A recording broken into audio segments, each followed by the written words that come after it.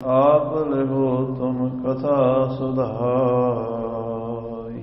ਸਤਨਾਮ ਸ੍ਰੀ ਵਾਹਿਗੁਰੂ ਸਾਹਿਬ ਜੀ ਚੌਪਈ ਆਪਣੋ ਪ੍ਰਸ਼ਨ ਠਾਨ ਤਿਨ ਪਾਹੀ ਸੁਨਹੋ ਬਾਕ ਗਿਆਨ ਜਿਨ ਮਾਹੀ ਤਬ ਤੇਰੋ ਹੋਏ ਹੈ ਕਲਿਆਣ ਇਮ ਭਾਖਿਓ ਗੁਰ ਕਰਨਾ ਠਾਨ। ਵਾਹਿਗੁਰੂ ਜੀ ਕਾ ਖਾਲਸਾ ਵਾਹਿਗੁਰੂ ਜੀ ਕੀ ਫਤਿਹ।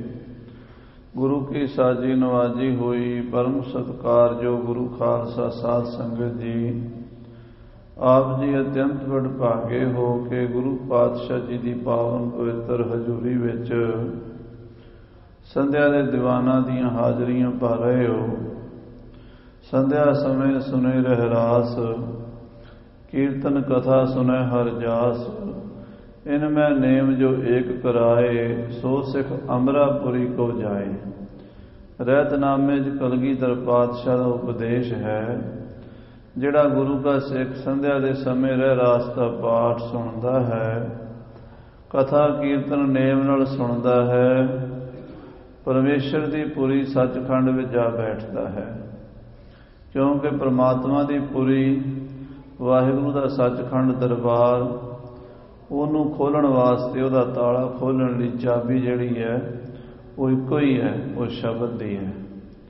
ਸ਼ਬਦ ਦੀ ਬੈਲ ਖੜਕਾਓ ਤੇ ਪਰਮੇਸ਼ਰ ਦੇ ਦਰਬਾਰ ਦਾ ਦਰਵਾਜ਼ਾ ਖੁੱਲੇਗਾ। ਉੱਥੇ ਪਹੁੰਚਣ ਲਈ ਇਹੀ ਸਾਧਨ ਹੈ।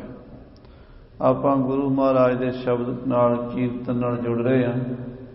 ਆਓ ਹੁਣ ਮਨ ਬਿਰਤੀਆਂ ਇਕਾਗਰ ਕਰੀਏ। ਧੰਨ ਗੁਰੂ ਅਰਜਨ ਦੇਵ, ਪੰਜਵੇਂ ਪਾਤਸ਼ਾਹ। ਸਤਿਗੁਰੂ ਜੀ ਸੰਤੋਖਸਰ ਸਾਹਿਬ ਜੀ ਦੀ ਸੇਵਾ ਕਰਾ ਰਹੇ ਨੇ। ਟਾਲੀ ਸਾਹਿਬ ਜਿੱਥੇ ਅੱਜ ਕੱਲ ਗੁਰਦੁਆਰਾ ਟਾਲੀ ਸਾਹਿਬ ਸੰਤੋਖਸਰ ਹੈ। ਉੱਥੇ ਟਾਲੀ ਥੱਲੇ ਖੜ ਕੇ ਮਹਾਰਾਜ ਸੇਵਾ ਕਰਾ ਰਹੇ ਨੇ ਤੇ ਸੰਗਤਾਂ ਮਿੱਟੀ ਪੁੱਟ-ਪੁੱਟ ਕੇ ਬਾਹਰ ਸਿੱਟ ਰਹੀਆਂ ਨੇ। ਬਹੁਤ ਡੂੰਘੇ ਚਲੇ ਗਏ ਨੇ ਤੇ ਥੱਲੇ ਇੱਕ ਮੱਠ ਨਿਕਲਿਆ ਹੈ। ਚਿਣਿਆ ਹੋਇਆ ਮੱਠ ਸੰਗਤਾਂ ਹੈਰਾਨ ਹੋਈਆਂ, ਗੁਰੂ ਸਾਹਿਬ ਨੂੰ ਖਬਰ ਕੀਤੀ। ਸਤਿਗੁਰੂ ਜੀ ਆਪ ਚੱਲ ਕੇ ਗਏ, ਵੇਖਿਆ ਮੱਠ ਦਾ ਬੂਹਾ ਬੰਦ ਹੈ, ਅੱਗੇ ਇੱਕ ਪੱਥਰ ਅੜਾਇਆ ਹੋਇਆ ਸਿਲਾ। ਉਹਨੂੰ ਚੁੱਕ ਕੇ ਜਦੋਂ ਵੇਖਿਆ ਤਾਂ ਉਹਦੇ ਵਿੱਚ ਇੱਕ ਜੋਗੀ ਸਮਾਧੀ ਲਾਈ ਬੈਠਾ, ਧਿਆਨ ਲਾਈ ਬੈਠਾ, ਦਸਵੇਂ ਦਵਾਰ ਸਵਾਸ ਚੜਾਏ ਹੋਏ। ਮਹਾਰਾਜ ਨੇ ਬਾਬਾ ਬੁੱਢਾ ਜੀ ਨੂੰ ਕਿਹਾ ਵੀ ਇਹਨਾਂ ਦੇ ਸਵਾਸ ਉਤਾਰੋ। ਕਸਤੂਰੀ ਮੱਖਣ ਵਿੱਚ ਮਿਲਾ ਕੇ ਪੈਰਾਂ ਦੀ ਮਾਲਿਸ਼ ਕੀਤੀ, ਹੱਥਾਂ ਦੀਆਂ ਤਲੀਆਂ ਮਲੀਆਂ, ਪੁੜਪੜੀਆਂ ਦੀ ਮਾਲਿਸ਼ ਕੀਤੀ ਤੇ ਹੌਲੇ-ਹੌਲੇ ਬਾਬਾ ਜੀ ਨੇ ਦਸਮ ਦੁਆਰ ਦੀ ਮਾਲਿਸ਼ ਕੀਤੀ। ਜੋਗੀ ਦੇ ਸਵਾਸ ਸਰੀਰ ਵਿੱਚ ਪਰਤ ਪਏ। ਅੱਖਾਂ ਖੋਲੀਆਂ ਤੇ ਪੁੱਛਦਾ ਹੈ, ਸਮਾਂ ਕਿਹੜਾ ਹੈ? ਇਹ ਸਾਹਮਣੇ ਮੇਰੇ ਕੌਣ ਬੈਠੇ ਹਨ? ਇਹਨਾਂ ਦੇ ਪਿਤਾ ਜੀ ਕੌਣ ਹਨ? ਇਹ ਕਿਸ ਗੱਦੀ ਤੇ ਹਨ? ਬਾਬਾ ਬੁੱਢਾ ਜੀ ਨੇ ਬੜੀ ਨਿਮਰਤਾ ਨਾਲ ਕਿਹਾ, ਜੋਗੀ ਜੀ, ਇਹਨਾਂ ਦੇ ਨਾਮ ਸਤਿਗੁਰੂ ਅਰਜਨ ਦੇਵ ਜੀ ਹਨ। ਇਹਨਾਂ ਦੇ ਪਿਤਾ ਗੁਰੂ ਰਾਮਦਾਸ ਮਹਾਰਾਜ ਹਨ ਤੇ ਗੁਰੂ ਨਾਨਕ ਦੀ ਗੱਦੀ ਤੇ ਹਨ। ਔਰ ਸਮਾਂ ਕਲਯੁਗ ਦਾ 5000 ਸਾਲ ਬੀਤ ਰਿਹਾ ਹੈ। ਇਹ ਸੁਣ ਕੇ ਉਹ ਜੋਗੀ ਬੜਾ ਹੀ ਖੁਸ਼ ਹੋਇਆ। ਕਹਿਣ ਲੱਗਾ, ਮੇਰੇ ਗੁਰੂ ਬੜੇ ਮਹਾਂਪੁਰਸ਼ ਸਨ। ਸਤਜੁਗ ਦੇ ਸਮੇਂ ਵਿੱਚ ਉਹਨਾਂ ਨੇ ਮੈਨੂੰ ਇਸ ਮਾਰਗ ਤੇ ਤੋਰਿਆ ਸੀ ਯੋਗ ਦੀ ਦੀਕਸ਼ਾ ਦਿੱਤੀ ਸੀ ਤੇ ਕਿਹਾ ਸੀ ਵੀ ਕਲਯੁਗ ਦੇ ਵਿੱਚ ਪਰਮੇਸ਼ਰ ਦਾ ਅਵਤਾਰ ਆਵੇਗਾ। ਉਹ ਤੈਨੂੰ ਦਰਸ਼ਨ ਦੇਣਗੇ, ਉਪਦੇਸ਼ ਦੇਣਗੇ। ਉਹਨਾਂ ਚਿਰ ਤੂੰ ਇਸ ਜਗ੍ਹਾ ਤੇ ਮਠ ਬਣਾ ਕੇ ਸਵਾਸ ਆਪਣੇ ਚੜਾ ਕੇ ਬੈਠਾ ਰਹੋ। ਉਹ ਆਪ ਹੀ ਤੈਨੂੰ ਆ ਕੇ ਪ੍ਰਗਟ ਕਰਨਗੇ। ਅੱਜ ਬਿਲਕੁਲ ਉਹੀ ਸਮਾਂ ਬਣ ਗਿਆ ਜੋ ਮੇਰੇ ਗੁਰੂ ਨੇ ਦੱਸਿਆ ਸੀ। ਮੈਂ ਇਸ ਜਗ੍ਹਾ ਤੇ ਮੱਠ ਬਣਾ ਕੇ ਬੈਠਾ, ਉੱਤੇ ਪਤਾ ਨਹੀਂ ਕਿੰਨੇ ਟਨ ਮਿੱਟੀ ਪੈ ਗਈ। ਪਰ ਮੇਰੇ ਗੁਰੂ ਦੀ ਕਿਰਪਾ ਸੀ, ਮੈਂ, ਮੇਰੇ ਸਵਾਸ ਨਿਕਲੇ ਨਹੀਂ। ਮੈਂ ਦਸਮ ਦਵਾਰ ਵਿੱਚ ਸਵਾਸ ਚੜਾ ਕੇ ਬੈਠਾ ਰਿਹਾ। ਇੱਕ ਤਰੀਕਾ ਹੈ, ਜਿਹੜਾ ਸਾਰਿਆਂ ਕੋਲੋਂ ਤਾਂ ਨਹੀਂ ਹੋ ਸਕਦਾ ਸਾਧ ਸੰਗਤ ਜੀ। ਪਰ ਕੁਝ ਮਹਾਪੁਰਸ਼ ਐਸੇ ਹੁੰਦੇ ਨੇ ਜਿਹੜੇ ਆਪਣੇ ਸਵਾਸ ਦਸਵੇਂ ਦਵਾਰ ਵਿੱਚ ਚੜਾ ਕੇ ਬੈਠੇ ਰਹਿੰਦੇ ਹਨ। ਜੁਗ ਬੀਤ ਜਾਂਦੇ ਹਨ ਜਦੋਂ ਦਿਲ ਕਰੇ ਫਿਰ ਸਵਾਸ ਉਤਾਰ ਕੇ ਫਿਰ ਉਹ ਸੰਸਾਰ ਵਿੱਚ ਵਿਚਰ ਸਕਦੇ ਹਨ। ਇਸ ਤਰ੍ਹਾਂ ਇਹ ਸੰਤੋਖ ਰਿਸ਼ੀ ਪਤਾ ਨਹੀਂ ਕਿਹੜੇ ਜ਼ਮਾਨੇ ਵਿੱਚ ਸਤਜੁਗ 'ਚ ਬੈਠਾ ਸੀ ਸਤਜੁਗ ਤ੍ਰੇਤਾ ਦੁਆਪਰ ਕਲਯੁਗ ਬੀਤ ਗਿਆ। ਹਜ਼ਾਰਾਂ ਸਾਲ ਬੀਤ ਗਏ, ਅੱਜ ਲੱਖਾਂ ਸਾਲ ਬੀਤ ਗਏ, ਗੁਰੂ ਸਾਹਿਬ ਜੀ ਦੇ ਦਰਸ਼ਨ ਹੋਏ। ਬਹੁਤ ਹੀ ਪ੍ਰਸੰਨ ਹੋ ਕੇ ਕਹਿੰਦਾ, ਮਹਾਰਾਜ, ਹੁਣ ਕਿਰਪਾ ਕਰੋ। ਜਿਹੜੀ ਚੀਜ਼ ਮੈਂ ਪੁੱਛਣੀ ਚਾਹੁੰਦਾ, ਉਹ ਮੈਨੂੰ ਦੱਸ ਦਿਓ।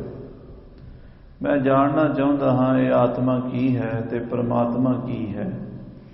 ਇਹ ਸਾਰੀ ਖੇਡ ਤਮਾਸ਼ਾ ਕੀ ਹੈ? ਅਸਲ ਚੀਜ਼ ਜਿਹੜੀ ਜਾਣਨੀ ਜਾਣਨ ਯੋਗ ਹੈ, ਉਹ ਮੈਨੂੰ ਦੱਸੋ। ਸਹਿਬ ਗੁਰੂ ਅਰਜਨ ਦੇਵ ਜੀ ਮਹਾਰਾਜ ਉਸ ਜੋਗੀ ਨਾਲ ਬਚਨ ਵਿਲਾਸ ਕਰਨਗੇ, ਪਹਿਲਾਂ ਉਸ ਜੋਗੀ ਦੇ ਸਵਾਲ ਸੁਣੀਏ। ਜਦੋਂ ਜਦੋਂ ਸਵਾਲ ਦੀ ਸਮਝ ਆ ਜਾਏ ਨਾ, ਫਿਰ ਜਵਾਬ ਦੀ ਵੀ ਸਮਝ ਆਉਂਦੀ ਹੈ। ਜੇ ਸਾਨੂੰ ਸਮੱਸਿਆ ਦਾ ਪਤਾ ਲੱਗ ਜੇ, ਉਹਦੇ ਸਮਾਧਾਨ ਦਾ ਵੀ ਪਤਾ ਲੱਗਦਾ ਹੈ, ਬਿਮਾਰੀ ਦਾ ਪਤਾ ਲੱਗ ਜੇ, ਦਵਾਈ ਦਾ ਵੀ ਪਤਾ ਲਾਈਦਾ ਹੈ। ਜੇ ਸਾਨੂੰ ਬਿਮਾਰੀ ਦਾ ਹੀ ਪਤਾ ਨਹੀਂ, ਸਵਾਲ ਦਾ ਹੀ ਪਤਾ ਨਹੀਂ, ਸਾਡੇ, ਸਾਡੀ ਲੋੜ ਕੀ ਹੈ ਸਾਨੂੰ ਪਤਾ ਨਹੀਂ, ਤੇ ਉਹਦਾ ਹੱਲ ਕੀ ਕੱਢਾਂਗੇ? ਸੋ ਸਾਧ ਸੰਗਤ ਜੀ, ਇਹ ਥੋੜੇ ਜਿਹੇ ਬਰੀਕ ਵਿਸ਼ੇ ਚੱਲੇ ਨੇ। ਗੁਰੂ ਅਰਜਨ ਦੇਵ ਸੱਚੇ ਪਾਤਸ਼ਾਹ ਦੱਸਣਗੇ, ਪਹਿਲਾਂ ਉਹ ਜੋਗੀ ਦੇ ਸਵਾਲ ਸੁਣੋ। ਸਾਰੀ ਸੰਗਤ ਪਿਆਰ ਨਾਲ ਪੰਚਮ ਪਾਤਸ਼ਾਹ ਦੇ ਚਰਨਾਂ 'ਚ ਸੁਰਤੀ ਜੋੜ ਕੇ ਆਖੀਏ ਸਤਨਾਮ। ਸ੍ਰੀ ਵਾਹਿਗੁਰੂ ਸਾਹਿਬ ਜੀ ਫਿਰ ਆਖੋ ਸਤਨਾਮ। ਤੇ ਗੁਰੂ ਸਾਹਿਬ ਜੀ। ਆਪਣੋ ਪ੍ਰਸ਼ਨ ਠਾਣ ਤਨ ਪਾਹੀ। ਮੇਰੇ ਗੁਰੂ ਨੇ ਕਿਹਾ ਸੀ ਕਿ ਤੂੰ ਬੈਠਾ ਰਹੀਂ ਜਦੋਂ ਕਲਯੁਗ ਦੇ ਸਮੇਂ 'ਚ ਗੁਰੂ ਅਰਜਨ ਦੇਵ ਜੀ ਤੈਨੂੰ ਆ ਕੇ ਮੱਠ ਵਿੱਚੋਂ ਕੱਢਣਗੇ। ਤੂੰ ਉਹਨਾਂ ਕੋਲ ਆਪਣੇ ਸਵਾਲ ਰੱਖੀ। ਸੁਣਿਓ ਬਾਕ ਗਿਆਨ ਜਿਨ ਮਾਹੀ। ਉਹਨਾਂ ਦੇ ਬਚਨ ਸੁਣੀ ਜਿਨ੍ਹਾਂ 'ਚ ਬ੍ਰਹਮ ਗਿਆਨ ਹੋਵੇਗਾ। ਸਭ ਤੇਰੋ ਹੋਏ ਹੈ ਕਲਿਆਣ। ਏ ਭਾਈ ਤੇਰਾ ਕਲਿਆਣ ਤਾਂ ਹੋਵੇਗਾ। ਮੇਰੇ ਗੁਰੂ ਨੇ ਮੈਨੂੰ ਇਹ ਗੱਲ ਕਹੀ ਸੀ ਸਤਿਗੁਰੂ ਜੀ। ਇਮ ਭਾਖਿਓ ਗੁਰ ਕਰਨਾ ਠਾਨ। ਮੇਰੇ ਗੁਰੂ ਬੜੇ ਮਹਾਪੁਰਸ਼ ਸਨ ਤਿੰਨਾਂ ਕਾਲਾਂ ਦੇ ਗਿਆਤਾ ਸਨ ਔਰ ਬੜੇ ਪਹੁੰਚੇ ਹੋਏ ਜੋਗੀ ਸਨ। ਪਰ ਉਹਨਾਂ ਨੇ, ਮੈਂ ਉਹਨਾਂ ਨੂੰ ਕਿਹਾ ਸੀ ਕਿ ਮੈਂ ਖੁਦ ਪਰਮੇਸ਼ਰ ਅਕਾਲ ਪੁਰਖ ਤੋਂ ਹੀ ਗਿਆਨ ਲੈਣਾ ਚਾਹੁੰਦਾ ਹਾਂ। ਉਹਨਾਂ ਦੇ ਦਰਸ਼ਨ ਕਰਨੇ ਚਾਹੁੰਦਾ ਹਾਂ। ਤਾਂ ਮੇਰੇ ਗੁਰੂ ਨੇ ਕਿਹਾ ਸੀ ਵੀ ਖੁਦ ਪਰਮੇਸ਼ਰ ਤਾਂ ਪੰਜਵੇਂ ਜਾਮੇ 'ਚ ਤੈਨੂੰ ਗੁਰੂ ਅਰਜਨ ਦੇਵ ਜੀ ਆ ਕੇ ਦਰਸ਼ਨ ਦੇਣਗੇ, ਪਰ ਅਜੇ ਬੜਾ ਸਮਾਂ ਲੱਗੇਗਾ। ਇਸ ਕਰਕੇ ਤੈਨੂੰ ਉਡੀਕ ਕਰਨੀ ਪੈਣੀ ਇਸ ਮੱਠ ਵਿੱਚ ਬੈਠ ਕੇ। ਤੋ ਮੈਂ ਉਦੋਂ ਦਾ ਇੱਥੇ ਬੈਠਾ ਹੋਇਆ, ਸਤਿਗੁਰੂ ਜੀ, ਤੁਹਾਡੀ ਉਡੀਕ ਕਰ ਰਿਹਾ ਹਾਂ। ਤਬ ਕੋ ਮੈਂ ਇਹੋ ਮਠ ਚਿਨਵਾਏ ਮੈਂ ਉਸ ਵੇਲੇ ਇਹ ਮੱਠ ਚਣਵਾ ਲਿਆ ਸੀ ਇੱਟਾਂ ਦਾ ਆਲੇ ਦੁਆਲੇ ਮੱਠ ਬਣਾ ਕੇ ਤੇ ਅੱਗੇ ਸਿਲਾ ਦੇ ਨਾਲ ਦਰਵਾਜ਼ਾ ਬੰਦ ਕਰਾ ਕੇ ਅੰਦਰ ਮੈਂ ਆਪਣੀ ਸਮਾਧੀ ਲਾ ਕੇ ਬੈਠ ਗਿਆ ਸੀ।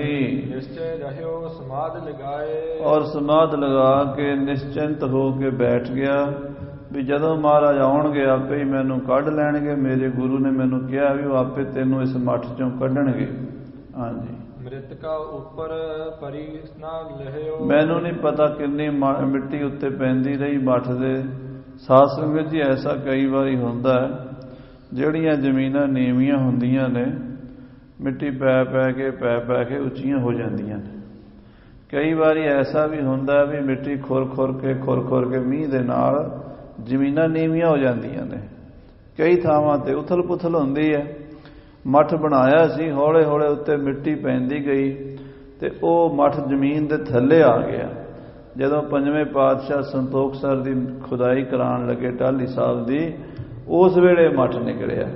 ਤੋ ਕਹਿੰਦਾ, ਮਹਾਰਾਜ, ਮੈਨੂੰ ਨਹੀਂ ਪਤਾ ਉੱਤੇ ਕਿੰਨੀ ਮਿੱਟੀ ਪਈ ਹੈ, ਕਦੋਂ ਪਈ ਹੈ, ਮੈਂ ਨਹੀਂ ਜਾਣਦਾ। ਜਦੋਂ ਮੈਂ ਬੈਠਾ ਸੀ ਮੱਠ ਚਣਾ ਕੇ, ਉਦੋਂ ਇੰਨੀ ਉੱਚੀ ਮਿੱਟੀ ਨਹੀਂ ਸੀ ਤੇ ਮੈਂ ਆਪਣੇ ਵੱਲੋਂ ਤਾਂ ਮੈਂ ਜ਼ਮੀਨ 'ਚ ਹੀ ਬੈਠਾ ਸੀ।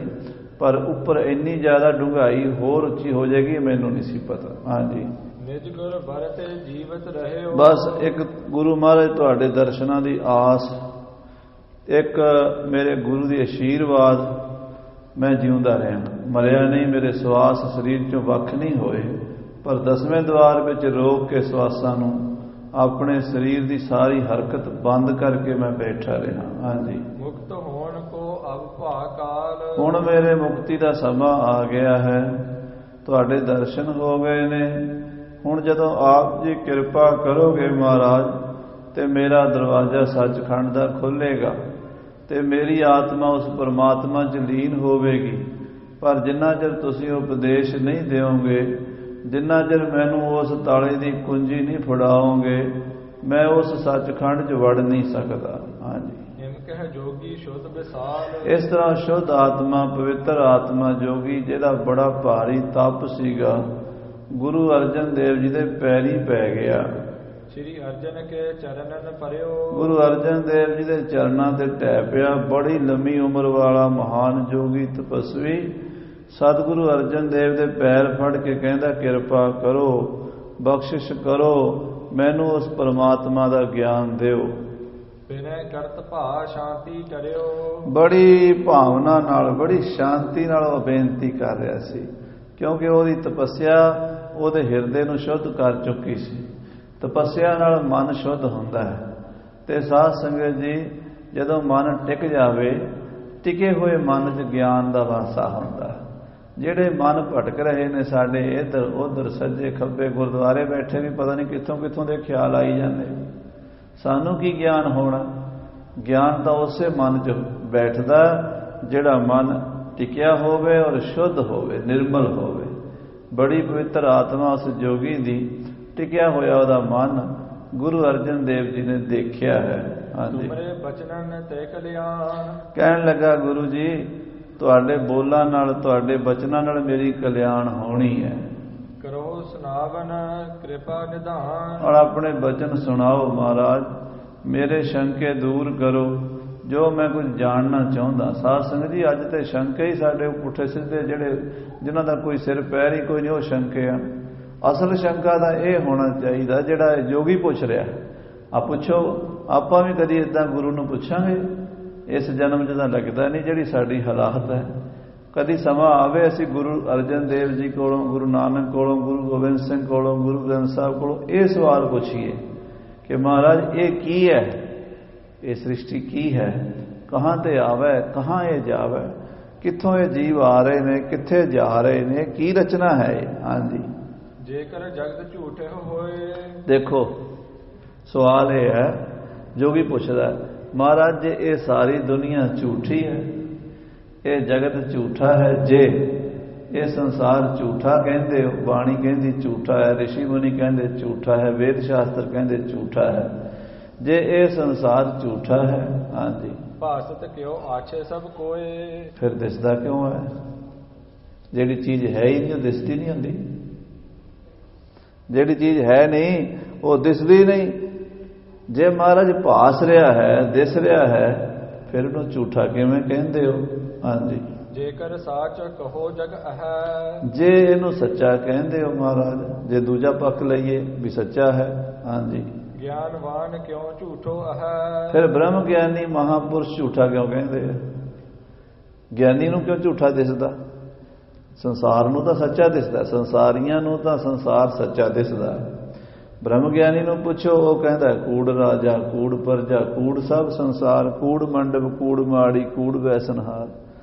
ਫਿਰ ਗਿਆਨੀ ਨੂੰ ਝੂਠਾ ਕਿਉਂ ਦਿਸਦਾ ਜੇ ਮਹਾਰਾਜ ਇਹ ਝੂਠਾ ਹੈ ਤੇ ਸੰਸਾਰੀਆਂ ਨੂੰ ਸੱਚਾ ਕਿਉਂ ਦਿਸਦਾ ਇਹ ਦੋਵੇਂ ਪਾਸੇ ਦੋਵੇਂ ਪਾਸੇ ਸਵਾਲ ਹੈ ਜੇ ਝੂਠਾ ਹੈ ਤੇ ਸੰਸਾਰੀਆਂ ਨੂੰ ਸੱਚਾ ਕਿਉਂ ਦਿਸਦਾ ਜੇ ਇਹ ਸੱਚਾ ਹੈ ਤੇ ਗਿਆਨੀਆਂ ਨੂੰ ਝੂਠਾ ਕਿਉਂ ਦਿਸਦਾ ਹਾਂਜੀ। ਆਤਮ ਕੋ ਸਰੂਪ ਜਿਮ ਲਹੀਏ ਮਹਾਰਾਜ ਆਤਮਾ ਦੇ ਦਰਸ਼ਨ ਕਿਵੇਂ ਹੋਣਗੇ? ਆਤਮਾ ਕੀ ਹੈ? ਆਤਮਾ ਦਾ ਸਰੂਪ ਕੀ ਹੈ? ਆਤਮਾ ਕਿੱਥੋਂ ਆਉਂਦੀ ਹੈ? ਆਤਮਾ ਕਿੱਥੇ ਜਾਂਦੀ ਹੈ? ਆਤਮਾ ਦਾ ਵਾਸਤਵਿਕ ਸਰੂਪ ਕੀ ਹੈ? ਕਿਰਪਾ ਕਰਕੇ ਦੱਸੋ ਹਾਂਜੀ ਇੱਕ ਹੀ ਬਹੁਤ ਭਾਂਤ ਕਿਮ ਕਹੀਏ ਇੱਕ ਆਤਮਾ ਕਹਿੰਦੇ ਸਾਰਿਆਂ ਵਿੱਚ ਸਭ ਮੈਂ ਜੋਤ ਜੋਤ ਹੈ ਸੋਏ। ਜੇ ਉਹ ਜੋਤ ਇੱਕ ਹੈ ਤੇ ਸਾਰਿਆਂ ਨੂੰ ਇੱਕੋ ਬੰਦੇ ਦੇ ਰੋਟੀ ਖਾਣ ਨਾਲ ਸਾਰਿਆਂ ਦੀ ਭੁੱਖ ਮਿਟ ਜਾਣੀ ਚਾਹੀਦੀ ਹੈ। ਜੇ ਆਤਮਾ ਸਾਰਿਆਂ 'ਚ ਇੱਕ ਹੈ, ਇੱਕ ਬੰਦੇ ਨੂੰ ਗਿਆਨ ਹੋਵੇ, ਸਾਰਿਆਂ ਨੂੰ ਗਿਆਨ ਹੋ ਜਾਣਾ ਚਾਹੀਦਾ। ਇੱਕ ਬੰਦੇ ਦਾ ਸ਼ੰਕਾ ਮਿਟਿਆ, ਦੂਜਿਆਂ ਦਾ ਵੀ ਨਾਲ ਮਿਟ ਜਾਣਾ ਚਾਹੀਦਾ। ਇੱਕ ਬੰਦੇ ਦੀ ਪਿਆਸ ਬੁਝੀ ਹੈ, ਦੂਜਿਆਂ ਦੀ ਵੀ ਪਿਆਸ ਬੁਝ ਜਾਣੀ ਚਾਹੀਦੀ ਹੈ। ਇੱਕ ਬੰਦੇ ਨੇ ਨੀਂਦ ਪੂਰੀ ਕਰ ਲਈ ਹੈ ਬਾਕੀਆਂ ਦਾ ਵੀ ਥਕੇਵਾ ਦੂਰ ਹੋਣਾ ਚਾਹੀਦਾ ਪਰ ਹੁੰਦਾ ਨਹੀਂ। ਜਿਹੜਾ ਰੋਟੀ ਖਾਂਦਾ ਉਹਦੀ ਭੁੱਖ ਮਿਟਦੀ ਹੈ। ਦੂਜਾ ਕਹਿੰਦਾ ਮੈਂ ਤੇ ਬਈ ਜੇ ਖਾਣੀ ਹੈ। ਮਹਾਰਾਜ ਜੇ ਆਤਮਾ ਸਾਰਿਆਂ ਵਿੱਚ ਇੱਕ ਹੈ ਤੇ ਫਿਰ ਜੁਦੇ ਜੁਦੇ ਸਰੀਰਾਂ ਦੇ ਵਿੱਚ ਜੁਦਾ ਜੁਦਾ ਅਨੁਭਵ ਕਿਉਂ ਹੈ? ਹਾਂਜੀ। ਚਲਹਿ ਜੀਵ ਜੰਗਮ ਇਹੋ ਸਾਰੇ। ਇਹ ਸਾਰੇ ਤੁਰਦੇ ਫਿਰਦੇ ਨੇ ਜੀਵ ਜੰਗਮ। ਪੈਰਾਂ ਵਾਲੇ ਹੱਥਾਂ ਵਾਲੇ ਖੰਭਾਂ ਵਾਲੇ 84 ਲੱਖ ਜੂਨਾਂ ਨੇ ਉੱਡਦੀਆਂ ਫਿਰਦੀਆਂ ਨੇ ਕੋਈ ਪਾਣੀ 'ਚ ਮੱਛੀਆਂ ਤਰਦੀਆਂ ਫਿਰਦੀਆਂ ਨੇ ਕੋਈ ਬੰਦੇ ਘੋੜਿਆਂ ਤੇ ਦੌੜੀ ਜਾਂਦੇ ਆ ਕੋਈ ਹਵਾਈ ਜਹਾਜ਼ਾਂ ਤੇ ਇਹ ਸਭ ਤੁਰੀ ਤੁਰਦੀ ਫਿਰਦੀ ਦੁਨੀਆ। ਇਹ ਸਾਰਾ ਜੋ ਤੁਰਨ ਵਾਲਾ ਪਸਾਰਾ ਹੈ ਇਹ ਕੀ ਹੈ? ਹਾਂਜੀ। ਕਿਮ ਕੂ ਟਸਤ ਰਹਿ ਨ ਧਾਰੇ। ਫਿਰ ਕਹਿੰਦੇ ਉਹ ਜਿਹੜਾ ਪ੍ਰਮਾਤਮਾ ਹੈ ਉਹ ਟਿਕਿਆ ਹੋਇਆ ਹੈ ਸਾਰਿਆਂ ਦੇ ਵਿੱਚ। ਹੈ ਸਾਰਿਆਂ ਦੇ ਵਿੱਚ ਹੈ। ਕੁਟਸਥ ਕੁਟਸਥ ਕਹਿੰਦੇ ਆ ਸਾਧ ਸੰਗਤ ਜੀ, ਕੂਟ, ਉਹ ਤੁਸੀਂ ਲੋਹਾਰ ਦੀ ਪੱਠੀ ਤੇ ਜਾਓ, ਜਿੱਥੇ ਲੋਹਾ ਕੁੱਟਦਾ, ਰੰਬੇ ਦਾਤੀਆਂ ਕਰ ਬਣਾਉਂਦਾ, ਉਹਨੇ ਇੱਕ ਐਰਣ ਰੱਖੀ ਹੁੰਦੀ ਹੈ। ਐਰਣ ਕਹਿੰਦੇ ਆਮ ਬੋਲੀ ਜਾਪਾਂ ਉਹਨੂੰ, ਪਰ ਪੁਰਾਣੇ ਗ੍ਰੰਥਾਂ ਜਿਹਨੂੰ ਕੂਟ ਵੀ ਕਹਿੰਦੇ ਨੇ। ਕੂਟਸਥ, ਉਹ ਲੋਹੇ ਦੀ ਹੁੰਦੀ ਹੈ। ਮੇਰਾ ਖਿਆਲ ਹੈ ਵੀ ਉਹਦਾ ਕੋਈ ਕੁਆਂਟਲ ਦੇ ਲਗਭਗ ਘੱਟੋ ਘੱਟ ਵਜਨ ਹੁੰਦਾ ਹੈ। 50 ਕਿਲੋ 60 ਕਿਲੋ, ਕੁਆਂਟਲ, ਡੇਢ ਕੁਆਂਟਲ ਦੀ ਬਹੁਤ ਵੱਡੀ ਭਾਰੀ ਪਥਨੀ ਜੀ ਹੁੰਦੀ ਹੈ ਲੋਹੇ ਦੀ। ਉਹ ਪਈ ਰਹਿੰਦੀ ਹੈ। ਉਹਦੇ ਉੱਤੇ ਰੋਜ਼ ਸੈਂਕੜੇ ਹਥੌੜੇ ਵੱਜਦੇ ਨੇ।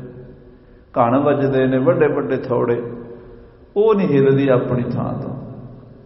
ਜਿਵੇਂ ਉਹ ਟਿਕੀ ਰਹਿੰਦੀ ਹੈ, ਕਹਿੰਦੇ ਨੇ, ਇਸੇ ਤਰ੍ਹਾਂ ਆਤਮਾ ਟਿਕੀ ਹੋਈ ਹੈ। ਜੇ ਆਤਮਾ ਟਿਕੀ ਹੋਈ ਹੈ ਤੇ ਫਿਰ ਇਹ ਦੌੜੇ ਦੌੜੇਗਾ ਫਿਰਦੇ ਨੇ? ਦੇਖੋ ਸਵਾਲ ਕੈਸਾ ਗੰਭੀਰ ਹੈ। ਜੇ ਆਤਮਾ ਟਿਕੀ ਹੋਈ ਹੈ, ਸਦਾ ਹੀ ਇੱਕੋ ਹੈ, ਨਿਰਵਿਕਾਰ ਹੈ, ਕੋਈ ਉਹਦੇ ਚ ਉਹਦੇ ਚ ਵਾਧਾ ਘਾਟਾ ਨਹੀਂ ਹੁੰਦਾ, ਵਿਕਾਰ ਨਹੀਂ ਹੁੰਦਾ। ਜੇ ਉਹ ਆਤਮਾ ਆਉਂਦੀ ਜਾਂਦੀ ਨਹੀਂ, ਉਹ ਆਤਮਾ ਜੰਮਦੀ ਮਰਦੀ ਵੀ ਨਹੀਂ, ਟਿਕੀ ਹੋਈ ਹੈ, ਫਿਰ ਇਹ ਜੰਮਦੇ ਮਰਦੇ ਕਿਉਂ ਨੇ? ਜੰਮਦਾ ਮਰਦਾ ਕੌਣ ਹੈ ਫਿਰ? ਜੇ ਆਤਮਾ ਟਿਕੀ ਹੋਈ ਹੈ, ਫਿਰ ਦੌੜੇ ਕੌਣ ਫਿਰਦੇ ਨੇ? ਜੰਮਦੇ ਵੀ ਨੇ ਬੱਚੇ ਬਣਦੇ ਨੇ ਜਵਾਨ ਹੁੰਦੇ ਨੇ ਬੁੱਢੇ ਹੁੰਦੇ ਨੇ ਫਿਰ ਮਰ ਜਾਂਦੇ ਨੇ ਫਿਰ ਦੁਬਾਰਾ ਜੰਮ ਪੈਂਦੇ ਨੇ ਫਿਰ ਫਿਰ ਉਦਾਂ ਹੀ ਫਿਰ ਉਦਾਂ ਹੀ ਘੁੰਮਦੇ ਨੇ। ਇਹ ਗੱਲ ਸਮਝ ਨਹੀਂ ਆਉਂਦੀ। ਮਹਾਰਾਜ ਇਹਦੀ ਗੱਲ ਸਮਝਾਓ ਇਹ ਭੇਤ ਖੋਲੋ ਹਾਂਜੀ। ਜਗਤ ਰੂਪ ਇਹੋ ਇਹੋ ਆਪੇ ਬਨ ਕੇ ਇਹ ਆਤਮਾ ਹੀ ਕਹਿੰਦੇ ਪ੍ਰਮਾਤਮਾ ਹੀ ਕਿਉਂਕਿ ਆਤਮਾ ਤੇ ਪ੍ਰਮਾਤਮਾ ਇੱਕੋ ਚੀਜ਼ ਹੈ ਦੋ ਨੇ ਇਹ ਪ੍ਰਮਾਤਮਾ ਹੀ ਜਗਤ ਰੂਪ ਬਣਿਆ ਹੋਇਆ। ਜੋ ਦੀਸੈ ਸੋ ਤੇਰਾ ਰੂਪ। ਗੁਣ ਨਿਧਾਨ ਗੋਬਿੰਦ ਅਨੂਪ, ਇਹ ਜਗ ਸੱਚੇ ਕੀ ਹੈ ਕੋਠੜੀ, ਸੱਚੇ ਘਰ ਵਿੱਚ ਵਾਸ। ਇਹ ਸਾਰਾ ਪਰਮਾਤਮਾ ਹੀ ਬਣਿਆ ਹੋਇਆ ਜਦੋਂ। ਜੇ ਪਰਮਾਤਮਾ ਹੀ ਬਣਿਆ ਹੋਇਆ, ਫਿਰ ਜੰਮ ਕੌਣ ਰਿਹਾ ਤੇ ਮਰ ਕੌਣ ਰਿਹਾ ਆ ਕੌਣ ਰਿਹਾ ਤੇ ਜਾ ਕੌਣ ਰਿਹਾ ਦੁਖੀ ਕੌਣ ਹੈ ਤੇ ਸੁਖੀ ਕੌਣ ਹੈ? ਇਹ ਕੀੜੀ ਕੀ ਹੈ ਤੇ ਹਾਥੀ ਕੀ ਹੈ?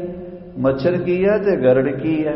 ਇਹ ਵੱਖਰੇ ਵੱਖਰੇ ਭੇਦ ਵੱਖਰੀਆਂ ਵੱਖਰੀਆਂ ਨਸਲਾਂ ਵੱਖਰੀਆਂ ਵੱਖਰੀਆਂ ਬੋਲੀਆਂ ਵੱਖਰੀਆਂ ਵੱਖਰੀਆਂ ਇਹਨਾਂ ਦੀਆਂ ਸੋਚਾਂ ਵੱਖਰੇ ਵੱਖਰੇ ਇਹਨਾਂ ਦੇ ਰਹਿਣ ਸਹਿਣ ਦੇ ਢੰਗ ਤਰੀਕੇ ਇਹ 84 ਲੱਖ ਜੂਨਾਂ ਦਾ ਵਰਤਾਰਾ ਕੀ ਹੈ ਫਿਰ ਗੁਰੂ ਜੀ? ਹਾਂਜੀ। ਕਿਮ ਨੇ ਲੇਪ ਰਹਿਤ ਸਭ ਜਨ ਕੈ। ਕਹਿੰਦੇ ਜਦੋਂ ਸਾਰਿਆਂ ਦੇ ਵਿੱਚ ਹੈ ਸਾਰੇ ਉਹਦਾ ਹੀ ਰੂਪ ਹਨ। ਸਾਰਿਆਂ ਦੇ ਵਿੱਚ ਉਹ ਹੈ ਸਾਰੇ ਉਹਦੇ ਵਿੱਚ ਹਨ। ਇਹ ਤਾਂ ਮੰਨਣਾ ਪੈਣਾ ਗੁਰਬਾਣੀ ਕਹਿੰਦੀ ਹੈ। ਕੀੜੀ ਵੀ ਉਹਦਾ ਹੀ ਰੂਪ ਹੈ, ਹਾਥੀ ਵੀ ਉਹਦਾ ਹੀ ਰੂਪ ਹੈ। ਤੇ ਹਾਥੀ ਕਈ ਹੋਰ ਕਿਰਿਆ ਕਰਦਾ ਹੈ, ਕੀੜੀ ਕੁਝ ਹੋਰ ਕਿਰਿਆ ਕਰਦੀ ਹੈ, ਮੱਛਰ ਕੁਝ ਹੋਰ ਕਰ ਰਿਹਾ, ਸੱਪ ਕੁਝ ਹੋਰ ਕਰ ਰਿਹਾ, ਚੀਤਾ ਕੁਝ ਹੋਰ ਕਰ ਰਿਹਾ, ਸ਼ੇਰ ਕੁਝ ਹੋਰ ਕਰ ਰਿਹਾ। ਪਰਮਾਤਮਾ ਫਿਰ ਨਿਰਲੇਪ ਕਿਵੇਂ ਰਹਿ ਗਿਆ? ਕਹਿੰਦੇ ਨਿਰਲੇਪ ਹੈ ਨਾ, ਵੀ ਸਦਾ ਹੀ ਨਿਰਲੇਪ ਹੈ, ਸਾਰੇ ਕੋਈ ਲੇਪ ਨਹੀਂ ਉਹਨੂੰ ਲੱਗਦਾ। ਲੇਪ ਨਹੀਂ ਲੱਗਦਾ, ਰਹਿੰਦਾ ਸਾਰਿਆਂ ਦੇ ਵਿੱਚ, ਸਾਰੇ ਭੋਗ ਭੋਗਦਾ, ਫਿਰ ਨਿਰਲੇਪ ਕਿਵੇਂ ਹੋ ਗਿਆ? ਜੇ ਉਹ ਨਿਰਲੇਪ ਹੀ ਸਾਰਾ ਕੁਝ ਕਰ ਰਿਹਾ ਹੈ ਆਪੇ ਭੋਗ ਰਿਹਾ, ਆਪੇ ਹੱਸ ਰਿਹਾ, ਆਪੇ ਰੋ ਰਿਹਾ, ਆਪੇ ਖਾ ਰਿਹਾ, ਆਪੇ ਪੀ ਰਿਹਾ, ਦੁੱਖ ਵੀ ਆਪ ਭੋਗ ਰਿਹਾ, ਸੁੱਖ ਵੀ ਆਪ ਭੋਗ ਰਿਹਾ, ਫਿਰ ਨਿਰਲੇਪ ਕਿਵੇਂ ਹੈ ਨਿਰਲੇਪ ਕਿਵੇਂ ਹੋ ਗਿਆ ਫਿਰ? ਇਹ ਥੋੜਾ ਜਿਹਾ ਭੇਦ ਹੈ। ਮਹਾਰਾਜ, ਮੈਨੂੰ ਕਿਰਪਾ ਕਰਕੇ ਦੱਸੋ, ਜੋਗੀ ਪੁੱਛ ਰਿਹਾ ਚਾਰ ਯੁੱਗਾਂ ਦਾ ਤਪਸਵੀ ਗੁਰੂ ਅਰਜਨ ਦੇਵ ਜੀ ਨੂੰ ਪੁੱਛ ਰਿਹਾ। ਹਾਂਜੀ। ਬ੍ਰਹਮ ਆਤਮਾ ਨਾਮ ਜਸੀ ਕੋ। ਇਹ ਮਹਾਰਾਜ ਜਿਹਨੂੰ ਬ੍ਰਹਮ ਕਹਿੰਦੇ ਨੇ ਵਿਆਪਕ ਕਹਿੰਦੇ ਨੇ ਪ੍ਰਮਾਤਮਾ ਕਹਿੰਦੇ ਨੇ ਜੋ ਸਾਰਿਆਂ ਦੇ ਵਿੱਚ ਹੈ ਜਿਸ ਨੂੰ ਸਾਰੇ ਜਾਣਦੇ ਨੇ ਆਪਣੀ ਆਤਮਾ ਦੇ ਰੂਪ ਵਿੱਚ। ਜਦੋਂ ਵੀ ਪ੍ਰਮਾਤਮਾ ਦੇ ਦਰਸ਼ਨ ਹੋਣੇ ਆ ਸਾਧ ਸੰਗਤ ਜੀ ਆਤਮਾ ਦਾ ਕੁੰਡਾ ਖੜਕਾਣਾ ਪੈਣਾ। ਹੋਰ ਨਹੀਂ ਕੋਈ ਰਸਤਾ। ਹੋਰ ਕੋਈ ਨਹੀਂ। ਜੇ ਕਿਸੇ ਕੋਲ ਹੈ ਤਾਂ ਦਿਖਾਵੇ। ਇੱਕੋ ਹੀ ਰਸਤਾ ਜੇ ਆਤਮਾ ਦਾ ਬੂਹਾ ਖੜਕਾਣਾ ਪੈਣਾ। ਉੱਥੇ ਬੈਲ ਵਜਾਣੀ ਪੈਣੀ ਹੈ ਉੱਥੇ ਗੱਲ ਹੋਣੀ। ਉਹਨੂੰ ਹੀ ਬ੍ਰਹਮ ਆਤਮਾ ਕਹਿੰਦੇ ਨੇ ਜੋ ਸਾਰਿਆਂ ਦੇ ਵਿੱਚ ਹੈ। ਹਾਂਜੀ। ਕਿਮ ਸਰੂਪ ਮੈਂ ਲਖੋ ਤਿਸੀ ਕੋ ਹੈ ਗੁਰੂ ਜੀ ਮੈਂ ਉਹਨੂੰ ਕਿਵੇਂ ਜਾਣਾ? ਜਿਸ ਨੂੰ ਆਤਮਾ ਕਹਿੰਦੇ ਨੇ ਜਿਸ ਨੂੰ ਬ੍ਰਹਮ ਕਹਿੰਦੇ ਨੇ ਜੋ ਸਾਰਿਆਂ ਦੇ ਅੰਦਰ ਹੈ ਜੋ ਸਾਰਿਆਂ ਦਾ ਆਧਾਰ ਹੈ ਜਿਸ ਦੇ ਜਾਣਨ ਤੋਂ ਬਿਨਾ ਪ੍ਰਮਾਤਮਾ ਦਾ ਗਿਆਨ ਨਹੀਂ ਹੁੰਦਾ। ਜਿਸ ਨੂੰ ਜਾਣੇ ਤੋਂ ਬਿਨਾ ਮੁਕਤੀ ਨਹੀਂ ਹੁੰਦੀ। ਮੈਂ ਉਹਨੂੰ ਕਿਵੇਂ ਜਾਣਾ? ਹਾਂਜੀ। ਜੁਗ ਅਨੇਕ ਗਨ ਮੁਨੀ ਬਤਾਏ। ਅਨੇਕਾਂ ਯੁੱਗ ਬੀਤ ਜਾਂਦੇ ਨੇ ઋષਿ ਮੁਨੀ ਜਿਸ ਨੂੰ ਲੁਭ- ਲੱਭਦੇ ਰਹਿੰਦੇ ਨੇ ਖੋਜਤ ਰਹਿੰਦੇ। ਜਾਂ ਕੋ ਜੋਗੀ ਖੋਜਤ ਹਾਰੇ ਪਾਇਓ ਨਹਿ ਤੇ ਪਾਰਾ ਆਹ ਧੰਨ ਗੁਰੂ ਤੇਗ ਬਹਾਦਰ ਸਾਹਿਬ ਦੇ ਬਚਨ ਜਾਂ ਕੋ ਜੋਗੀ ਖੋਜਤ ਹਾਰੇ ਜਿਸ ਨੂੰ ਲੱਭਦੇ ਲੱਭਦੇ ਜੋਗੀ ਹਾਰ ਗਏ। ਪਾਇਓ ਨੇ ਤੇ ਪਾਰਾ ਸੋ ਸੁਆਮੀ ਤੁਮ ਨਿਕਟ ਪਛਾਨੋ ਰੂਪ ਰੇਖ ਤੇ ਨਿਆਰਾ। ਉਹ ਪ੍ਰਮਾਤਮਾ ਤੇਰੇ ਕੋਲ ਹੈ, ਪਰ ਰੂਪ ਰੇਖ ਤੇ ਨਿਆਰਾ ਹੈ ਤੇਰੇ ਕੋਲ। ਪਰ ਉਹਦਾ ਕੋਈ ਰੂਪ ਨਹੀਂ, ਕੋਈ ਰੇਖ ਨਹੀਂ, ਕੋਈ ਰੰਗ ਨਹੀਂ, ਚੱਕਰ, ਚੇਨ, ਅਰ ਵਰਨ ਜਾਤ, ਅਰ ਪਾਤ ਨਹਿਨ ਜਿਹੇ ਰੂਪ, ਰੰਗ, ਅਰ ਰੇਖ ਪੇ ਕੋ ਕਹਿ ਨਾ ਸਕਦੀ। ਅਚਲ ਮੂਰਤ ਅਨਭਵ ਪ੍ਰਕਾਸ਼ ਅਮਿਤੋਜ ਕਹਿਜੈ ਕੋਟ ਇੰਦਰ ਇੰਦਰਾਣ, ਸਾਹੇ ਸਹਾਣ ਗਣਜੈ ਤ੍ਰਿਭਵਨ ਮਹੀਪ, ਸੁਰ ਨਰ ਅਸੁਰ ਨੇਤ ਨੇਤ ਬਨ ਤਿਰਣ ਕਹਿਤ। ਤਵੈ ਸਰਬ ਨਾਮ ਕਥੈ ਕਵਨ, ਕਰਮ ਨਾਮ ਵਰਣਤ ਸੁਮਤ। ਐਸਾ ਉਹਦਾ ਸਰੂਪ, ਮਹਾਰਾਜ ਮੈਂ ਜਾਣਨਾ ਚਾਹੁੰਨਾ। ਉਸ ਰੂਪ ਦੇ ਮੈਂ ਦਰਸ਼ਨ ਕਰਨੇ ਚਾਹੁੰਨਾ। ਕਿਰਪਾ ਕਰੋ ਗੁਰਦੇਵ ਜੀ, ਮੈਨੂੰ ਉਸ ਰੂਪ ਦਾ ਗਿਆਨ ਕਰਾ ਦਿਓ। ਪਨਤਿਓ ਥਕੇ ਪਾਰ ਨਹਿ ਪਾਏ। ਬੜੇ ਬੜੇ ઋષਿ ਮੁਨੀ, ਅਵਤਾਰੀ ਪੁਰਸ਼ ਜਿਸ ਦਾ ਵਰਣਨ ਕਰੀ ਗਏ ਕਰੀ ਗਏ ਕਰੀ ਗਏ। ਚਾਰ ਵੇਦ 6 ਸ਼ਾਸਤਰ 27 ਸਿਮਰਤੀਆਂ 18 ਪੁਰਾਣ, ਹਜ਼ਾਰਾਂ ਗ੍ਰੰਥ ਲਿਖੇ ਗਏ, ਹਜ਼ਾਰਾਂ ਗ੍ਰੰਥ। ਪਰ ਸਾਰੇ ਗ੍ਰੰਥਾਂ ਦੇ ਬਾਅਦ ਲਿਖਿਆ ਗਿਆ, ਇਹ ਗੱਲ ਮੁੱਕੀ ਨਹੀਂ, ਆਖੋ ਸ੍ਰੀ ਵਾਹਿਗੁਰੂ। ਉਹ ਕਹਿ ਦਿੰਦੇ ਆ ਵੇਦ ਵੀ ਕਹਿੰਦੇ ਆ, ਪੁਰਾਣ ਵੀ ਕਹਿੰਦੇ ਆ, ਸ਼ਾਸਤਰ ਵੀ ਕਹਿੰਦੇ ਆ, ਗੀਤਾ ਵੀ ਕਹਿੰਦੀ ਹੈ ਮੁੱਕੀ ਨਹੀਂ ਗੱਲ, ਉਹ ਕਹਿੰਦੇ ਗੱਲ ਮੁੱਕੀ ਨਹੀਂ। ਗੁਰੂ ਗ੍ਰੰਥ ਸਾਹਿਬ ਵੀ ਕਹਿੰਦੇ ਅੰਤ ਨਾ ਸਿਫਤੀ ਕਹਿਣ ਦਾ ਅੰਤ ਅੰਤ ਨਾ ਕਰਨਾ ਦੇਣ ਦਾ ਅੰਤ ਅੰਤ ਨਾ ਵੇਖਣ, ਸੁਣਨ ਦਾ ਅੰਤ ਅੰਤ ਨਾ ਜਾਪੈ, ਕਿਆ ਮਨਮੰਤ ਉਹ ਐਸਾ ਵਿਚਿੱਤਰ ਸਰੂਪ ਮਹਾਰਾਜ ਮੈਨੂੰ ਕਿਰਪਾ ਕਰਕੇ ਦਿਖਾ ਦਿਓ। ਹਾਂਜੀ। ਜਿਸ ਬ੍ਰਹਮ ਹੋਵੇ ਸਖ ਯਾਤ। ਜਿਸ ਗਿਆਨੀ ਪੁਰਸ਼ ਦੇ ਹਿਰਦੇ 'ਚ ਉਸ ਬ੍ਰਹਮ ਦਾ ਪ੍ਰਕਾਸ਼ ਹੁੰਦਾ ਹੈ ਸਾਖਸ਼ਾਤ ਹੁੰਦਾ ਹੈ, ਸਾਹਮਣੇ ਆ ਜਾਂਦਾ ਜਿਹੜਾ ਉਹਨੂੰ ਦੇਖ ਲੈਂਦਾ ਸਾਧ ਸੰਗਤ ਜੀ, ਹਰ ਚੀਜ਼ ਦੇਖਣੀ ਸੌਖੀ ਹੈ। ਬ੍ਰਹਮ ਗੁਰੂ ਦੀਆਂ ਅੱਖਾਂ ਤੋਂ ਬਿਨਾਂ ਦੇਖਿਆ ਨਹੀਂ ਜਾ ਸਕਦਾ। ਬ੍ਰਹਮ ਗੁਰੂ ਤੋਂ ਬਿਨਾਂ ਨਹੀਂ ਦੇਖਿਆ ਜਾ ਸਕਦਾ। ਹਰ ਚੀਜ਼ ਨੂੰ ਤੁਸੀਂ ਆਪਣੀਆਂ ਅੱਖਾਂ ਨਾਲ ਦੇਖ ਸਕਦੇ ਹੋ। ਬ੍ਰਹਮ ਨੂੰ ਦੇਖਣ ਲਈ ਗੁਰੂ ਦੀਆਂ ਅੱਖਾਂ ਲੈਣੀਆਂ ਪੈਂਦੀਆਂ। ਬਸ ਇੰਨਾ ਕੁ ਫ਼ਰਕ ਹੈ। ਮਹਾਰਾਜ ਤੁਸੀਂ ਕਿਰਪਾ ਕਰੋ ਗੁਰੂ ਅਰਜਨ ਦੇਵ ਜੀ ਮੈਨੂੰ ਉਸ ਪ੍ਰਮਾਤਮਾ ਦੇ ਸਰੂਪ ਦਾ ਬੋਧ ਕਰਾਓ ਜਿਸ ਨੂੰ ਜਾਣਨ ਤੋਂ ਬਾਅਦ ਹੋਰ ਕੁਝ ਜਾਣਨਾ ਬਾਕੀ ਨਹੀਂ ਰਹਿ ਜਾਂਦਾ। ਹਾਂਜੀ। ਚਿਤ ਸ਼ਾਂਤੀ ਤਿਸ ਕੇ ਬਖਿਆਤ। ਜਿਸ ਨੂੰ ਉਸ ਬ੍ਰਹਮ ਦਾ ਸਾਖਸ਼ਾਤ ਹੁੰਦਾ ਉਸ ਸਰੂਪ ਦੇ ਦਰਸ਼ਨ ਹੁੰਦੇ ਨੇ ਉਹਦੇ ਮਨ ਨੂੰ ਸ਼ਾਂਤੀ ਆ ਜਾਂਦੀ ਹੈ। ਕਿੰਨੀ ਸ਼ਾਂਤੀ ਸੀ ਗੁਰੂ ਅਰਜਨ ਦੇਵ ਜੀ ਦੇ ਮਨ ਵਿੱਚ। ਕਿ ਬਲਦੀ ਹੋਈ ਅੱਗ ਨੂੰ ਪਰਮਾਤਮਾ ਦਾ ਰੂਪ ਜਾਣ ਲਿਆ ਸੀ, ਤਤੀ ਤਵੀ ਨੂੰ ਵੀ ਪਰਮੇਸ਼ਰ ਦਾ ਰੂਪ ਜਾਣ ਲਿਆ ਸੀ, ਤਤੇ ਰੇਤੇ ਨੂੰ ਵੀ ਪਰਮਾਤਮਾ ਦਾ ਰੂਪ ਜਾਣ ਲਿਆ ਸੀ, ਤੇ ਸਾਧ ਸੰਗਤ ਜੀ, ਉਹ ਬ੍ਰਹਮ ਗਿਆਨ ਕਰਕੇ ਹੀ ਸੰਭਵ ਸੀਗਾ। ਜੇ ਬ੍ਰਹਮ ਗਿਆਨ ਨਾ ਹੋਵੇ, ਤੇ ਤਵੇ ਤੇ ਪ੍ਰਸ਼ਾਦਾ ਲਾਂਦਿਆਂ ਮੜ ਜਾ ਸੇਕ ਲੱਗ ਜੇ, ਉਹ ਸਾੜਨੀ ਨਹੀਂ ਸਾਤੋਂ ਸੜੀ, ਉਹ ਸਹੀ ਨਹੀਂ ਜਾਂਦੀ।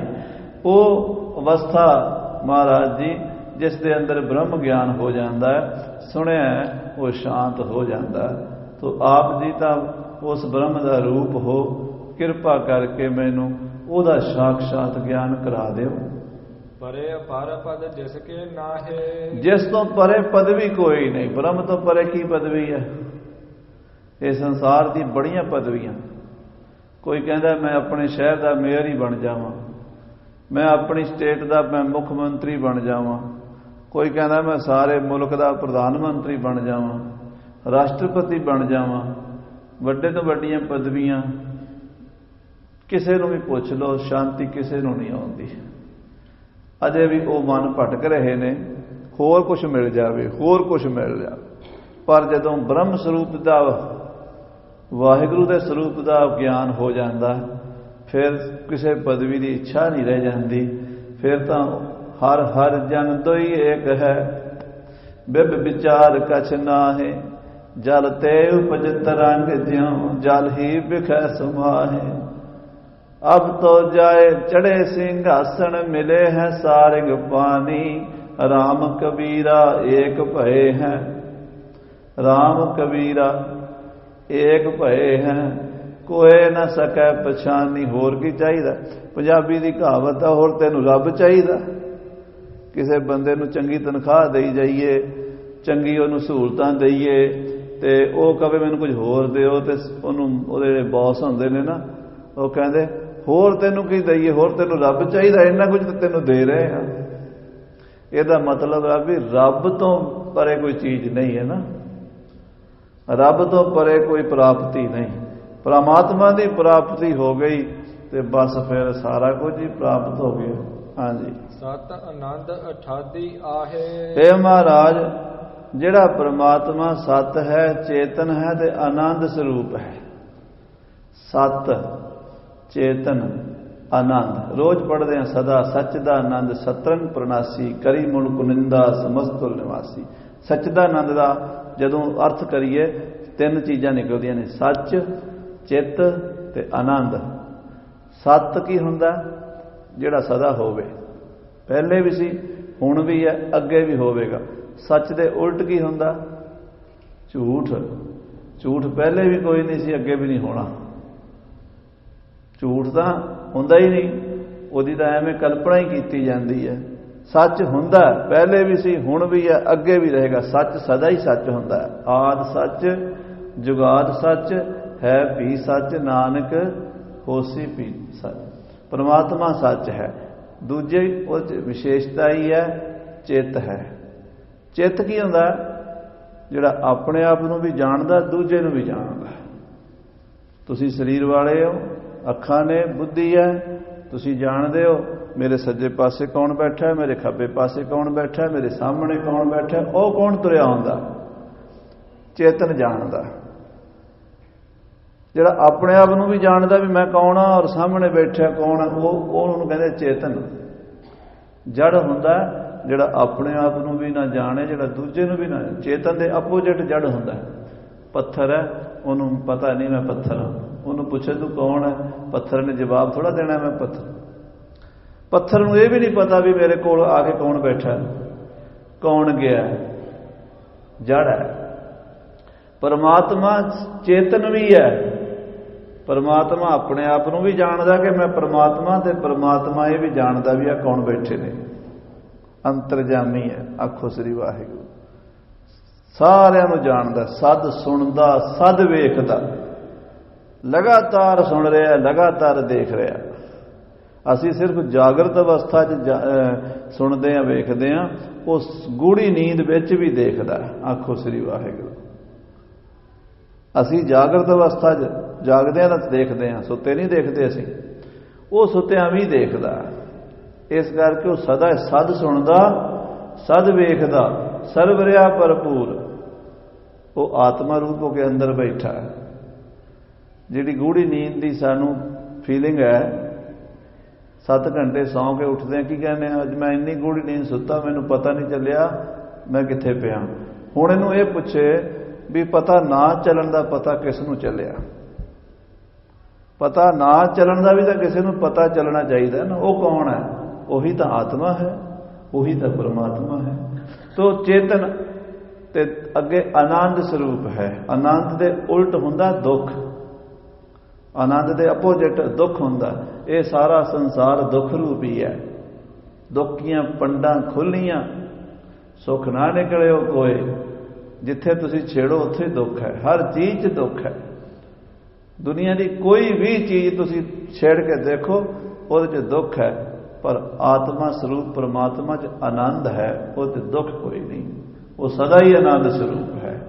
ਸੋ ਮਹਾਰਾਜ ਕਹਿੰਦੇ ਐਸਾ ਸਤ ਚੇਤਨ ਆਨੰਦ ਸਰੂਪ ਹੈ ਗੁਰੂ ਅਰਜਨ ਦੇਵ ਜੀ ਮਹਾਰਾਜ ਮੈਨੂੰ ਦਿਖਾ ਦਿਓ ਕਿਰਪਾ ਕਰ ਦਿਓ। ਹਾਂਜੀ। ਬ੍ਰਹਮ ਸਰੂਪ ਹਿਰਦੈ ਬਿਦਤਾਵੋ ਮੇਰੇ ਹਿਰਦੇ ਵਿੱਚ ਉਸ ਬ੍ਰਹਮ ਦਾ ਗਿਆਨ ਪ੍ਰਗਟ ਕਰ ਦਿਓ ਸੱਚੇ ਪਾਤਸ਼ਾਹ ਜੀ।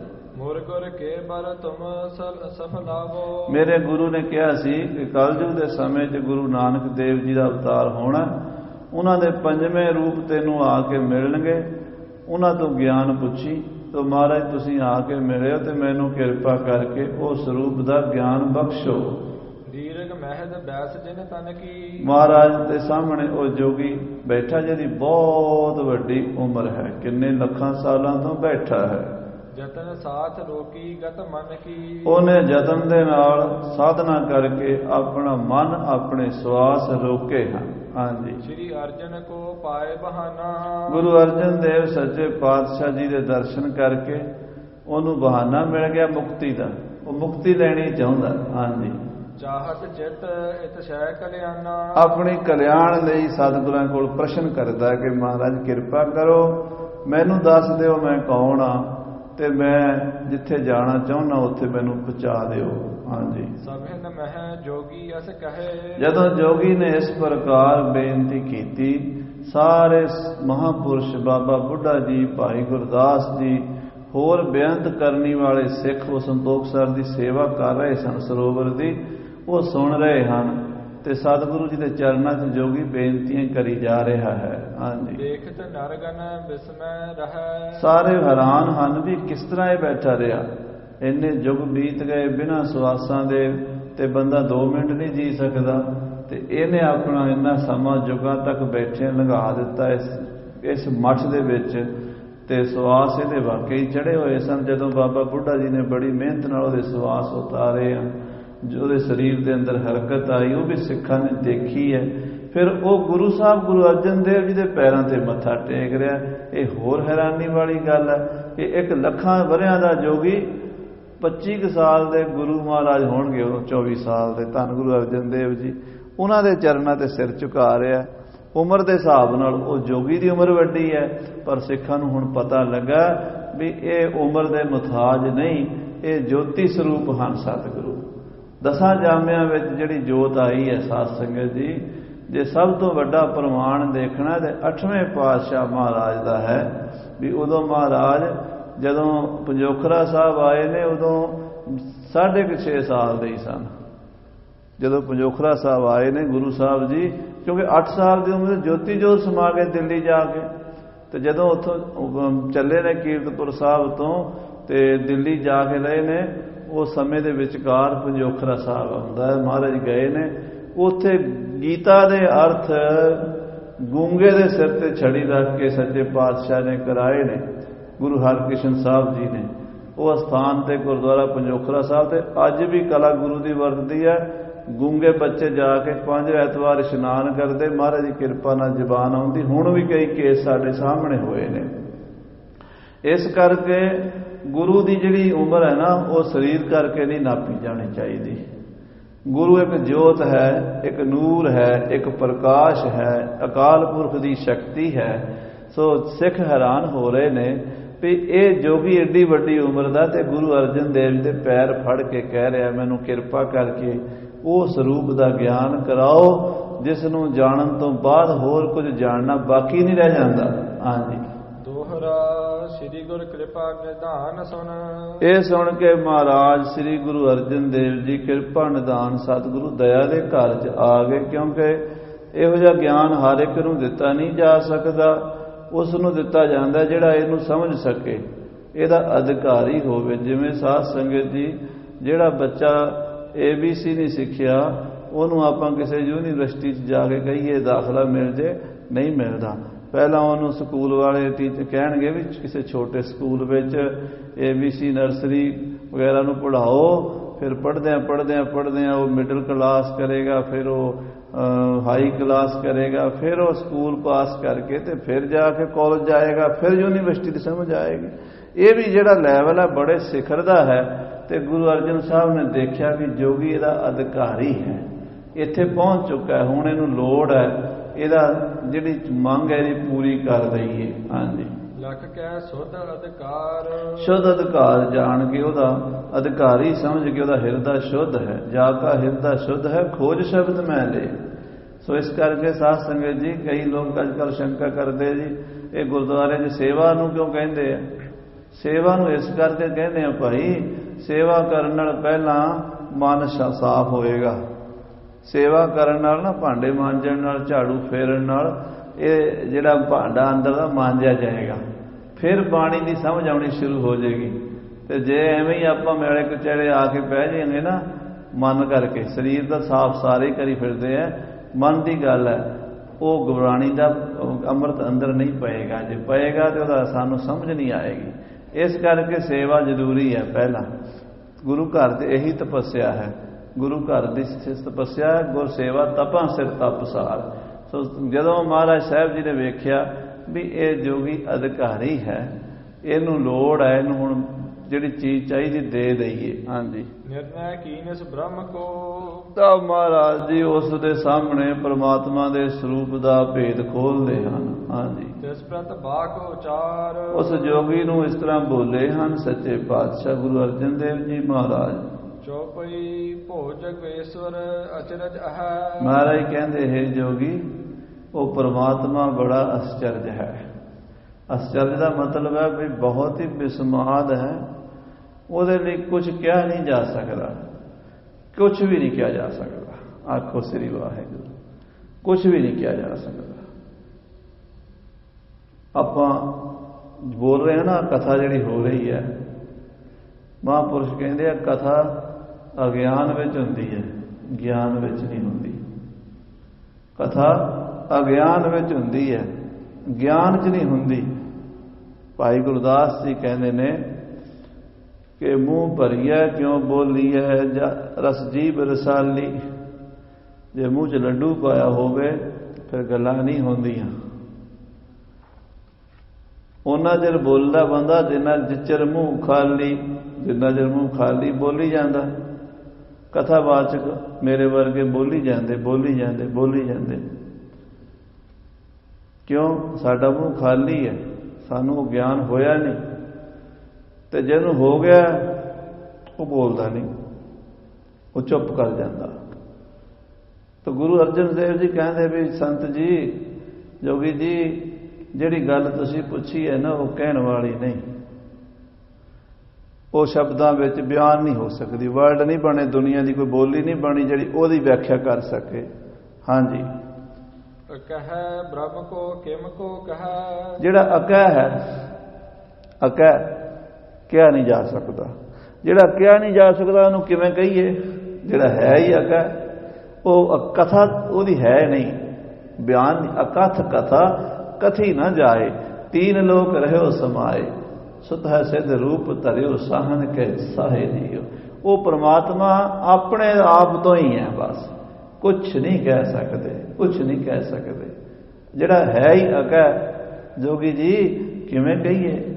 ਕੋਈ ਬੋਲੀ ਕੋਈ ਭਾਸ਼ਾ ਕੋਈ ਸ਼ਬਦ ਕੋਈ ਵਰਡ ਹੈ ਨਹੀਂ। ਉਹਦੀ ਵਿਆਖਿਆ ਕਰ ਜੋਗੇ। ਹਾਂਜੀ। ਨਾਮ ਗੋਚਰ ਭਾਖਤ ਤਾਹੇ। ਇਸ ਕਰਕੇ ਉਹਨੂੰ ਕਹਿੰਦੇ ਨੇ ਅਗੋਚਰ ਹੈ। ਅਗੋਚਰ ਸ਼ਬਦ ਬਾਣੀ ਚ ਬੰਦਾ ਨਾ। ਅਗੋਚਰ। ਸਾਧ ਸੰਗਤ ਜੀ, ਪੰਜਾਬੀ ਚ ਆਮ ਵਰਤਦੇ ਆ ਭਾਈ ਸਾਹਿਬ, ਤੁਸੀਂ ਬਾਜ਼ਾਰ ਚੱਲੇ ਹੋ ਆ ਮੇਰਾ ਮੜ ਜਾ ਕੰਮ ਹੈ ਤੁਹਾਡੇ ਗੋਚਰੇ ਕਰ ਦਿਆ ਜੇ। ਆ ਕੰਮ ਤੁਹਾਡੇ ਗੋਚਰੇ ਹੈ, ਤੁਸੀਂ ਕਰ ਦਿਆ ਜੇ। ਹੁਣ ਗੋਚਰੇ ਨੂੰ ਸਮਝੋ ਪਹਿਲਾਂ। ਗੋ ਹੁੰਦਾ ਇੰਦਰੀਆਂ, ਅੱਖਾਂ, ਕੰਨ, ਨੱਕ ਜੀਵ ਤੇ ਸਾਡੀ ਚਮੜੀ। ਤੇ ਪੰਜ ਹੁੰਦੀਆਂ ਨੇ, ਕਰਮ ਇੰਦਰੀਆਂ, ਹੱਥ, ਪੈਰ ਗੋ ਨਾਮ ਇੰਦਰੀਆਂ ਦਾ ਹੈ। ਚਰ ਨਾਮ ਉਹਦੇ ਵਿਸ਼ੇ ਦਾ ਹੈ, ਜੋ ਦਾ ਵਿਸ਼ਾ ਹੈ। ਅੱਖਾਂ ਦਾ ਵਿਸ਼ਾ ਰੂਪ ਦੇਖਣਾ, ਕੰਨਾਂ ਦਾ ਆਵਾਜ਼ ਸੁਣਨੀ, ਚਮੜੀ ਦਾ ਛੂਣਾ ਹੱਥਾਂ ਦਾ ਪਕੜਨਾ, ਪੈਰਾਂ ਦਾ ਤੁਰਨਾ। ਜਦੋਂ ਅਸੀਂ ਕਿਸੇ ਬੰਦੇ ਨੂੰ ਕਹਿੰਦੇ ਆ ਭਾਈ ਸਾਹਿਬ, ਇਹ ਕੰਮ ਤੁਹਾਡੇ ਗੋਚਰੇ ਆ ਤਾਂ ਤੁਹਾਡੀਆਂ ਇੰਦਰੀਆਂ ਤੁਹਾਡਾ ਸਰੀਰ ਕਰ ਸਕਦਾ ਤੁਸੀਂ ਕਰ ਸਕਦੇ ਤੁਹਾਡੇ ਗੋਚਰੇ ਹੈ। ਆ ਗੋਚਰ, ਉਸ ਤੋਂ ਪਹਿਲਾਂ ਲੱਗਾ ਐੜਾ। ਐੜੇ ਦਾ ਮਤਲਬ ਹੈ ਨਾ, ਨਹੀਂ, ਨਾ ਵਾਚਕ ਹੈ। ਜੋ ਕਿਸੇ ਦੇ ਗੋਚਰ ਨਹੀਂ, ਜਿਸ ਨੂੰ ਦੇਖਣ ਲਈ ਕਿਸੇ ਦੀਆਂ ਅੱਖਾਂ ਸਮਰੱਥ ਨਹੀਂ, ਜਿਸ ਨੂੰ ਸੁਣਨ ਲਈ ਕਿਸੇ ਦੇ ਕੰਨ ਸਮਰੱਥ ਨਹੀਂ, ਜਿਸ ਨੂੰ ਸੁੰਘਣ ਲਈ ਕਿਸੇ ਦੀ ਨੱਕ 'ਚ ਦਮ ਨਹੀਂ, ਜਿਸ ਨੂੰ ਛੂਣ ਦੇ ਲਈ ਕਿਸੇ ਦੀ ਚਮੜੀ 'ਚ ਬਲ ਨਹੀਂ, ਨਾ ਉਹ ਛੂਇਆ ਜਾ ਸਕਦਾ, ਨਾ ਉਹ ਦੇਖਿਆ ਜਾ ਸਕਦਾ, ਨਾ ਉਹ ਸੁਣਿਆ ਜਾ ਸਕਦਾ, ਨਾ ਉਹ ਚੱਖਿਆ ਜਾ ਸਕਦਾ। ਜਿਹੜਾ ਪੰਜਾਂ ਹੀ ਗਿਆਨ ਇੰਦਰੀਆਂ ਦਾ ਵਿਸ਼ਾ ਨਹੀਂ, ਉਹ ਹੈ ਅਗੋਚਰ। ਦੁਨੀਆ ਦਾ ਗਿਆਨ ਦਿੱਤਾ ਜਾ ਸਕਦਾ, ਕਿਉਂਕਿ ਲੋਕਾਂ ਕੋਲ ਪੰਜ ਸਾਧਨ ਨੇ ਉਸ ਗਿਆਨ ਨੂੰ ਲੈਣ ਦੇ। ਦੁਨੀਆ ਦਾ ਗਿਆਨ ਲੈਣ ਦੇ ਹਰ ਬੰਦੇ ਕੋਲ ਪੰਜ ਸਾਧਨ ਨੇ, ਅੱਖਾਂ ਨੇ, ਕੰਨ ਨੇ, ਚਮੜੀ ਹੈ, ਨੱਕ ਹੈ ਤੇ ਜੀਬ ਹੈ। ਉਹ ਸਮਝਾਇਆ ਜਾ ਸਕਦਾ ਪਰਮਾਤਮਾ ਦਾ ਗਿਆਨ ਕਿਵੇਂ ਸਮਝਾਈਏ, ਕਿਸੇ ਕੋਲ ਸਾਧਨ ਹੀ ਨਹੀਂ ਉਹਨੂੰ ਸਮਝਣ ਦਾ। ਉਹਨੂੰ ਸਮਝਣ ਦੀਆਂ ਜਿਹੜੀਆਂ ਇੰਦਰੀਆਂ ਨੇ, ਉਹ ਹੈ ਨਹੀਂ ਕਿਸੇ ਕੋਲ। ਇਸ ਕਰਕੇ ਪਾਤਸ਼ਾਹ ਕਹਿੰਦੇ ਅਗੋਚਰ ਹੈ। ਹਾਂਜੀ। ਕਿਸੇ ਦੇ ਵਿਸ਼ਾ ਕਬ ਨਾ ਕਿਸੇ ਇੰਦਰੀ ਦਾ ਵਿਸ਼ਾ ਹੀ ਨਹੀਂ ਨਾ। ਜੇ ਕੋਈ ਰੂਪ ਵਾਲਾ ਹੋਵੇ, ਅਸੀਂ ਕਹਿ ਦਈਏ ਵੀ ਪੀਲੇ ਰੰਗ ਦਾ, ਨੀਲੇ ਰੰਗ ਦਾ, ਕਾਲੇ ਰੰਗ ਦਾ, ਦੇਖ ਲਓ ਬਈ। ਜੇ ਕੋਈ ਬੋਲਾ, ਕੰਨਾਂ ਤੋਂ ਉਹਨੂੰ ਆਪਾਂ ਆਵਾਜ਼ ਨਹੀਂ ਸੁਣਾ ਸਕਦੇ, ਜੇ ਅੱਖਾਂ ਤੋਂ ਅੰਨਾ ਉਹਨੂੰ ਆਪਾਂ ਰੰਗ ਨਹੀਂ ਦੱਸ ਸਕਦੇ। ਰਵਿੰਦਰਨਾਥ ਟੈਗੋਰ ਜੀ ਬੰਗਾਲ ਦੇ ਬੜੇ ਵੱਡੇ ਵਿਦਵਾਨ ਹੋਏ ਨੇ, ਉਹਨਾਂ ਨੇ ਮਹਾਰਾਜ ਗੁਰੂ ਨਾਨਕ ਸਾਹਿਬ ਜੀ ਦੀ ਪਾਵਨ ਆਰਤੀ ਦਾ ਟ੍ਰਾਂਸਲੇਟ ਕੀਤਾ ਉਹਦੇ ਵਿੱਚ ਬੰਗਾਲੀ ਭਾਸ਼ਾ ਦੇ ਵਿੱਚ। ਗਗਨ ਮੈਂ ਥਾਲ ਰੱਬ ਚੰਦ ਦੀਪ ਬਨੇ ਤਾਰਕਾ ਮੰਡਲ ਜਨਕ ਮੋਤੀ। ਬਹੁਤ ਹੀ ਅਨੁਭਵੀ ਸਨ ਸ੍ਰੀ ਅੰਮ੍ਰਿਤਸਰ ਆ ਕੇ ਕੀਰਤਨ ਸੁਣਿਆ ਕਰਦੇ ਸੀ। ਰਵਿੰਦਰਨਾਥ ਟੈਗੋਰ ਨੂੰ ਨੋਬਲ ਪੁਰਸਕਾਰ ਵੀ ਮਿਲਿਆ। ਉਹਨਾਂ ਨੇ ਬਹੁਤ ਕੁਝ ਦੂਜੇ ਧਰਮਾਂ ਬਾਰੇ, ਸਿੱਖ ਧਰਮ ਬਾਰੇ ਲਿਖਿਆ, ਖੈਰ ਵੱਖਰੀ ਗੱਲ। ਉਹਨਾਂ ਨੂੰ ਇਹ ਪੁੱਛਿਆ ਗਿਆ ਵੀ ਤੁਸੀਂ ਰੱਬ ਨੂੰ ਮੰਨਦੇ ਹੋ, ਪਰਮਾਤਮਾ ਨੂੰ। ਜੇ ਕੋਈ ਨਾਸਤਕ ਬੰਦਾ ਤੁਹਾਨੂੰ ਕਵੇ ਵੀ ਮੈਨੂੰ ਪਰਮਾਤਮਾ ਦਾ ਗਿਆਨ ਕਰਾਓ, ਕਿਦਾਂ ਕਰਾਓਗੇ, ਉਹ ਕਹਿਣ ਲੱਗੇ, ਜੇ ਕੋਈ ਅੰਨਾ ਕਵੇ ਵੀ ਰੋਸ਼ਨੀ ਦਾ ਰੰਗ ਦਿਖਾਓ, ਕਿਵੇਂ ਦਿਖਾਓਗੇ? ਅੰਨਾ ਪੁੱਛੇ ਵੀ ਰੋਸ਼ਨੀ ਦਾ ਰੰਗ ਕਿਹੋ ਜਿਹਾ ਕੀ ਦੱਸੋਗੇ? ਜੇ ਉਹਨੂੰ ਕਹੋਗੇ ਪੀਲਾ ਹੋਵੇਗਾ ਪੀੜਾ ਕੀ ਹੁੰਦਾ? ਜੇ ਉਹਨੂੰ ਚਿੱਟਾ ਹੋਵੇ ਚਿੱਟਾ ਕੀ ਹੁੰਦਾ? ਜੇ ਉਹਨੂੰ ਹੋਰ ਕੋਈ ਉਹਨੂੰ ਰੰਗ ਦਾ ਪਤਾ ਹੀ ਨਹੀਂ। ਉਹਦੇ ਕੋਲ ਉਹ ਸਾਧਨ ਹੀ ਨਹੀਂ, ਉਹ ਇੰਦਰੀ ਨਹੀਂ ਹੈ ਜਿਹਦੇ ਨਾਲ ਉਹ ਰੰਗ ਨੂੰ ਜਾਣ ਸਕੇ। ਇਸ ਕਰਕੇ ਨਾਸਤਕ ਬੰਦੇ ਨੂੰ ਪਰਮਾਤਮਾ ਦਾ ਗਿਆਨ ਕਰਾਉਣਾ ਬਹੁਤ ਮੁਸ਼ਕਲ ਹੈ। ਪਰ ਜੇ ਕੋਈ ਅਨੁਭਵ ਵਾਲਾ ਹੈ, ਜਿਹਦੇ ਅੰਦਰ ਅਨੁਭਵ ਦੀਆਂ ਅੱਖਾਂ ਹਨ, ਉਹਨੂੰ ਪੂਰਾ ਗੁਰੂ ਮਿਲਿਆ ਹੈ, ਸ਼ਰਧਾ ਭਗਤੀ ਉਹਦੇ ਅੰਦਰ ਹੈ, ਗੁਰੂ ਉਹਨੂੰ ਉਸ ਥਾਂ ਤੇ ਪਹੁੰਚਾ ਸਕਦਾ ਸਾਧ ਸੰਗਤ ਦੀ ਇਹੋ ਜਿਹਾ ਗੁਰੂ ਵੀ ਘੱਟ ਮਿਲਦਾ, ਇਹੋ ਜਿਹੇ ਚੇਲੇ ਵੀ ਘੱਟ ਮਿਲਦੇ ਆ। ਗੁਰੂ ਕੋਲ ਵੀ ਬਹੁਤੇ ਲੋਕਾਂ ਦੀ ਉਹਨਾਂ ਦੀ ਭੀੜ ਹੁੰਦੀ ਹੈ, ਜਿਹੜੇ ਗੁਰੂ ਕੋਲੋਂ ਦੁਨਿਆਵੀ ਚੀਜ਼ਾਂ ਹੀ ਮੰਗਦੇ ਹਨ। ਸੋ ਗੁਰੂ ਸਾਹਿਬ ਮਹਾਰਾਜ ਕੋਲ, ਗੁਰੂ ਗ੍ਰੰਥ ਸਾਹਿਬ ਕੋਲ, ਸਤਿਗੁਰੂ ਨਾਨਕ, ਗੁਰੂ ਗੋਬਿੰਦ ਸਿੰਘ ਕੋਲ ਹੈ ਤਾਂ ਸਭ ਕੁਝ ਪਰ ਲੈਣ ਵਾਲੇ ਅਸੀਂ ਭਾਂਡੇ ਹੀ ਛੋਟੇ ਰੱਖੀ ਫਿਰਦੇ ਹਾਂ, ਦੁਨਿਆਵੀ ਚੀਜ਼ਾਂ ਹੀ ਮੰਗਦੇ ਹਾਂ। ਗੁਰੂ ਅਰਜਨ ਦੇਵ ਜੀ ਕਹਿੰਦੇ, ਜੋਗੀ ਜੀ ਪਹਿਲੀ ਗੱਲ ਤਾਂ ਅਕਹਿ ਹੈ, ਅਕਥ ਹੈ, ਅਗੋਚਰ ਹੈ। ਫਿਰ ਉਸ ਨੂੰ ਸਮਝਣ ਲਈ ਸਾਡੇ ਕੋਲ ਸਾਧਨ ਕੋਈ ਨਹੀਂ ਹੈ। ਅੱਖਾਂ ਦੇਖ ਨਹੀਂ ਸਕਦੀਆਂ, ਕੰਨ ਸੁਣ ਨਹੀਂ ਸਕਦੇ, ਜਬ ਜੀਭ ਚੱਖ ਨਹੀਂ ਸਕਦੀ, ਚਮੜੀ ਛੂ ਨਹੀਂ ਸਕਦੀ ਤੇ ਨੱਕ ਉਹਨੂੰ ਸੁੰਘ ਨਹੀਂ ਸਕਦੀ ਕਿਉਂਕਿ ਇਹਨਾਂ ਤੋਂ ਪਰੇ ਹੈ, ਹੋਰ ਹੀ ਹੈ ਕੁਝ। ਹੁਣ ਕੀ ਹੈ? ਉਹ ਮਹਾਰਾਜ ਨੂੰ ਫਿਰ ਕਹਿੰਦੇ ਆ ਕਹਿੰਦੇ, ਹੈ ਤਾਂ ਅਕਥ, ਪਰ ਗੁਰੂ ਕਥ ਦਿੰਦਾ ਹੈ। ਆਖੋ ਸ੍ਰੀ ਵਾਹਿਗੁਰੂ ਹੈ ਤੇ ਪਰੇ, ਪਰ ਗੁਰੂ ਨੇੜੇ ਕਰਕੇ ਦਿਖਾ ਦਿੰਦਾ ਹੈ। ਇਹੀ ਗੁਰੂ ਦਾ ਕੰਮ ਹੈ। ਪਰਮਾਤਮਾ ਦਾ ਦੂਜਾ ਰੂਪ ਦੁਨੀਆ ਤੇ ਕੋਈ ਹੈ, ਦੂਜਾ ਤਾਂ ਕਹਿਣਾ ਪੈਂਦਾ, ਉਹ ਵੀ ਸਾਡੀ ਬੋਲੀ ਹੈ ਨਾ। ਵੈਸੇ ਤਾਂ ਇੱਕੋ ਰੂਪ ਹੈ। ਪਰਮਾਤਮਾ ਦਾ ਰੂਪ ਗੁਰੂ ਹੀ ਹੈ। ਤੇ ਗੁਰੂ ਨੂੰ ਦੇਖ ਲਓ, ਪਰਮਾਤਮਾ ਦੇ ਦਰਸ਼ਨ ਹੁੰਦੇ ਆ ਪਰ ਜੇ ਕੋਈ ਪਰਮਾਤਮਾ ਨੂੰ ਗੁਰੂ ਤੋਂ ਬਿਨਾਂ ਜਾਣਨਾ ਚਾਹੇ, ਉਹ ਨਹੀਂ ਜਾਣ ਸਕਦਾ। ਸੋ ਗੁਰੂ ਅਰਜਨ ਦੇਵ ਜੀ ਹੁਣ ਕਿਰਪਾ ਕਰਨਗੇ ਉਸ ਜੋਗੀ ਨੂੰ, ਸ਼ਬਦ ਸੁਣਾਣਗੇ ਬਾਜੀਗਰ ਜੈਸੇ ਬਾਜੀ ਪਾਈ, ਨਾਨਾ ਰੂਪ ਭੇਖ ਦਿਖਲਾ ਇਹ ਸ਼ਬਦ ਜਿਹੜਾ ਸੂਹੀ ਰਾਗ ਦਾ ਹੈ ਨਾ, ਇਹ ਉਹਦੇ ਵਾਸਤੇ ਮਹਾਰਾਜ ਨੇ ਜੋਗੀ ਦੇ ਪ੍ਰਥਾਏ ਉਚਾਰਿਆ। ਉਹਦੀ ਕਥਾ ਆਪਾਂ ਅਗਲੇ ਪ੍ਰਕਰਣਾਂ ਵਿੱਚ ਸਰਵਣ ਕਰਾਂਗੇ। ਸਮੇਂ ਦੇ ਲਿਹਾਜ਼ ਨਾਲ ਸਮਾਪਤੀ ਹੈ ਜੀ। ਹੇ ਗੋਬਿੰਦ, ਹੇ ਗੋਪਾਲ।